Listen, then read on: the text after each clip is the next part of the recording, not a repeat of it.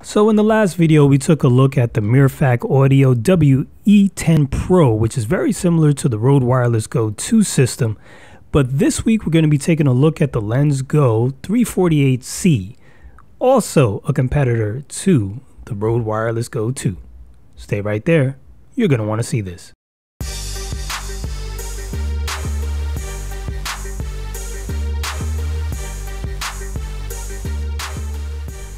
And if you haven't already done so, go ahead and check out the video about the Mirfak audio system to see how that one compares to the uh, Wireless Go 2. And also, make sure you subscribe to my channel because we're going to be talking about the C100 Mark II and the Sony a6400 and the one that I use more for weddings this season and why.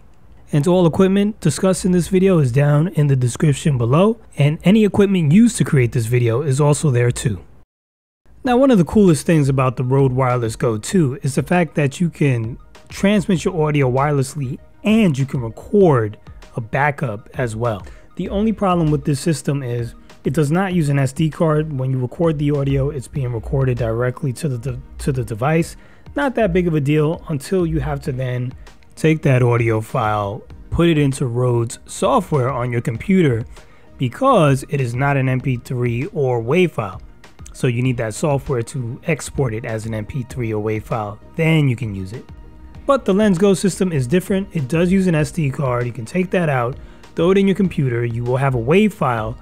And from there, you can take that audio and use it in your editing software or however else you plan on using it. Now we'll be doing a range test and audio quality test a little later, but first let's just take a look around the transmitter and receiver. You get two transmitters and one receiver um, or you could just buy the system that comes with one transmitter and one receiver.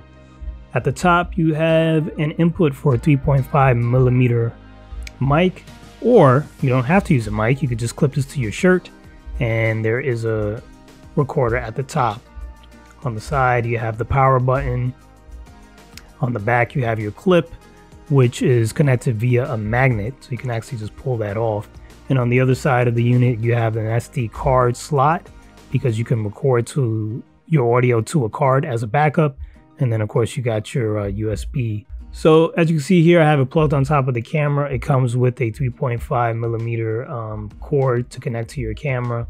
And if you look at the receiver, you know, you can control your levels. There's volume controls on the side, so you can make the levels low or high.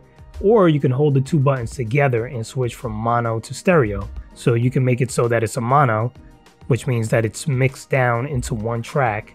Or you could separate the tracks and then the left will be one transmitter and the right will be another transmitter. And then while you're um, editing your stuff, you can control each microphone independently. Um, we're gonna go ahead and start off with a range test. The audio that you're hearing right now is the actual audio that's coming from the Lensgo system. It's coming from this microphone that's on my shirt. Actually, move it up a little bit a little closer to my mouth. Um,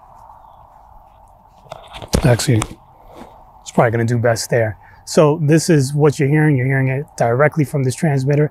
We're to do a range test. I'm to walk across this, across this field. Not quite sure how long this is, but you know, it's way over 100, 100 feet. So let's go ahead and take a walk and see if you can still hear me.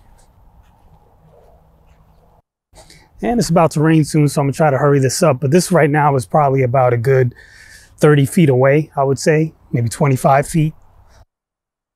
Now, this is a 2.4 gigahertz system, so it really needs line of sight to work. So turning my back makes the sound go in and out because my body is blocking the receiver. So keep that in mind. You need line of sight. Now, I'm just going to speed up this walk-in test a bit. We don't need to watch this forever because you can't even hear what I'm saying. But you can see I'm quite a distance away. Eventually, I will turn around and I'll show you that. And at this distance, you're still not really hearing me. So it's not working from this distance. Might be a little over 200 feet. I'm going to kind of speed it up. Now, right about this distance is where it comes back on. Something I'm gonna start counting my footsteps. One, two, 5, 6, 7, 8, 9, 10, 11, 12, 13, 14, 15, 16, 17, 18, 19, 20, 21, 22, 23, 24, 25, 26, 27, 8, 29, 30, 31, 32, 33, 34, 35, 36, 37, 38, 39, 40, 41, 42, 43, 44, 45, 46, 48, 49, 50. Okay, so yeah, I thought that was more than 100 feet. So it's definitely more than 100 feet. So there you can, there you go. Now you can kind of hear the audio quality. I do have the wind muff on because it was slightly windy a moment ago. Now it's really not. So I probably don't even really need it, but it was windy a second ago. Actually, I'm just gonna take this off. Now, one thing about this unit, as you can see here, it actually has like a magnet on it. So you could just pull it off just like I did right there. Just pull it right off and it just snaps back. It's pretty good. It doesn't, you know, it's probably not going to fall off very easily. I was a little afraid of that when I took it to a wedding. I used it for the uh, reception and the speeches. Clipped it on the suspenders of a uh, of the best man, and then it was clipped onto the um, bridesmaid's dress. And I was afraid. I was like, man, this thing's gonna fall off, and it didn't. So I guess that's good.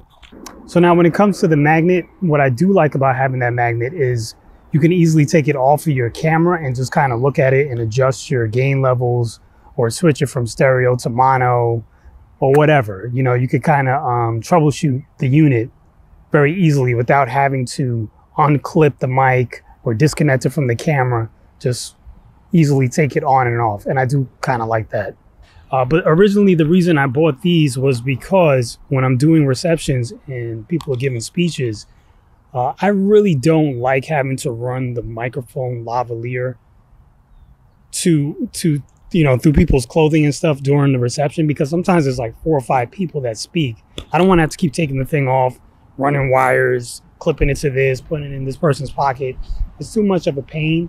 So personally, I thought to myself, this would be better because I could just clip it to someone's shirt or to someone's dress and then if they if they're done speaking and someone else is speaking that I didn't know about, they can easily just hand it off to that person and then I don't have to worry about running wires and stuff because it just takes too much time.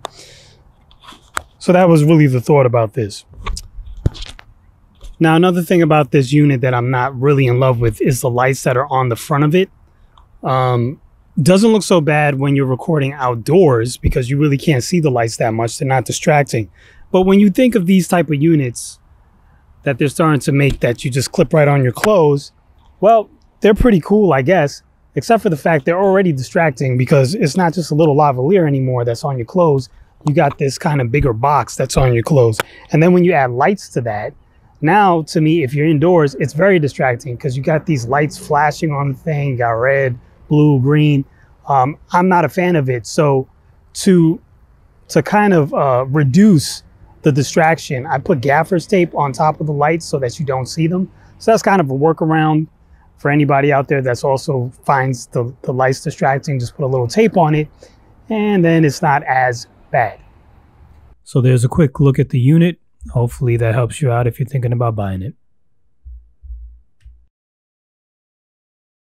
And if you haven't subscribed, please make sure you do because in an upcoming video, we'll be taking a look at some real world results from the LensGo system and the Mirfak audio system.